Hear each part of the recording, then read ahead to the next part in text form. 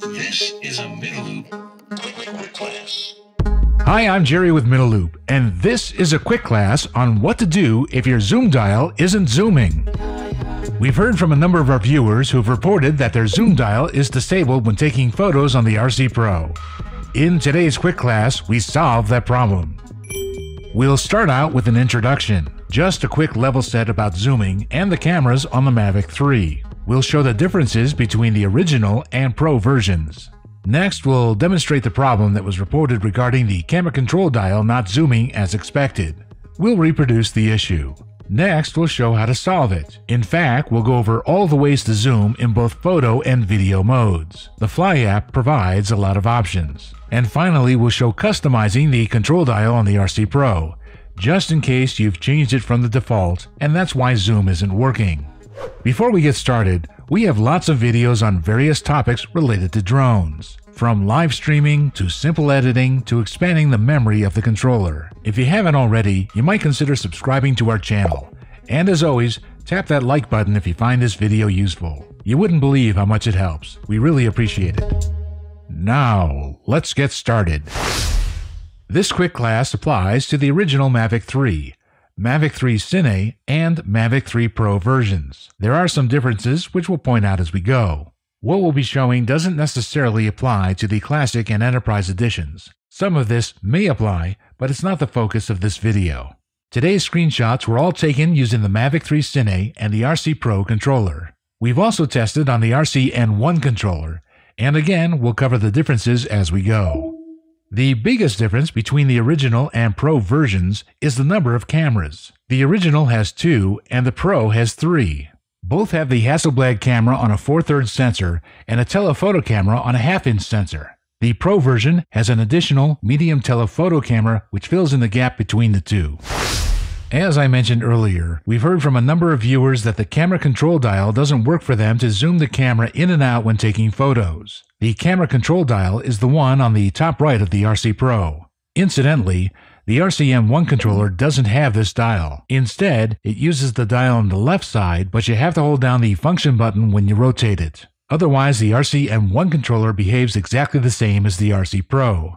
Okay, so let's check it out. Tapping the mode icon, you can see that we're currently set to single photo mode. First, let's change it to video, and by default, video will be set to normal mode. Now, to get rid of this menu, we just have to tap anywhere on the screen.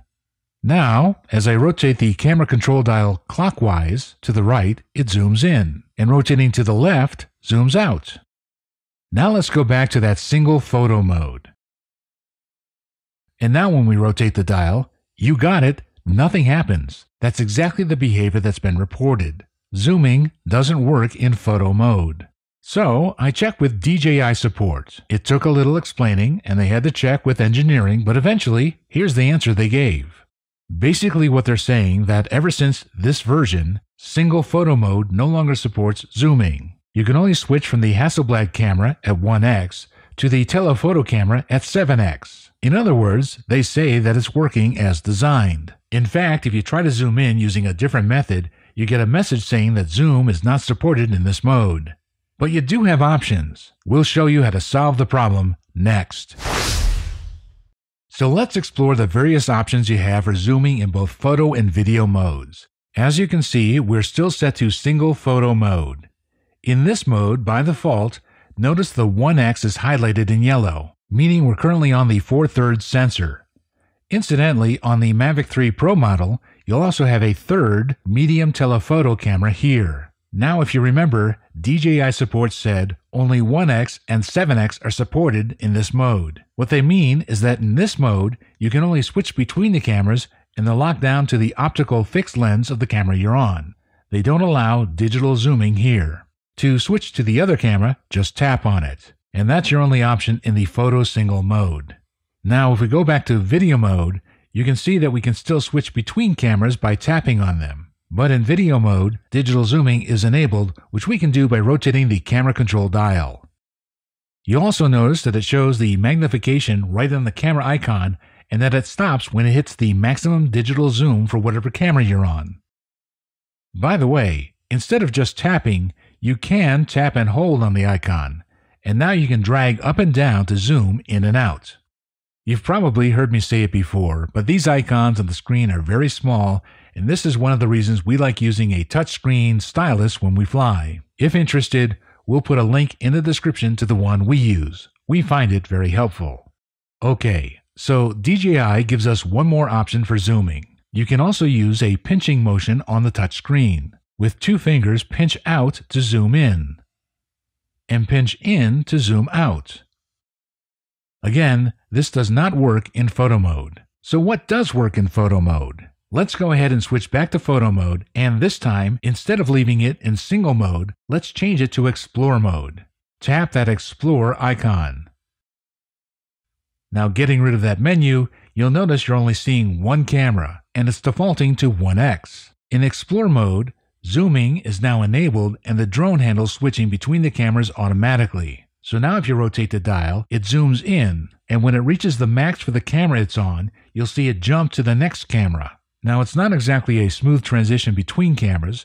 This is one place where the Pro version of the Mavic 3 is definitely better. The jump between cameras is not so harsh as with the original Mavic 3, and that's because the Pro version has that medium telephoto camera. Here too, by the way, you can tap on the camera icon and it will jump in increments, or tap and hold, then drag to zoom, like we did before. And of course, pinching the touchscreen to zoom in and out works here too. And if we switch to video mode, it too has an explore option, which works exactly the same. If you're having any trouble at all with the camera control dial not working as we've described, it's possible that the behavior of the dial has been customized and it's no longer set to the default. To check it, tap the three dots in the upper right. Tap the Control tab if it's not already selected. Scroll down to Button Customization and tap on the right arrow. From here, you could select Reset in the upper right to change all of the settings back to the factory default, but instead, let's scroll down to the right dial selection. Here, it should be set to the Zoom In and Out option. If not, tap that down arrow and change it back. So that's it for this quick class. I hope you found it useful. Thank you, have a great day, and happy flying.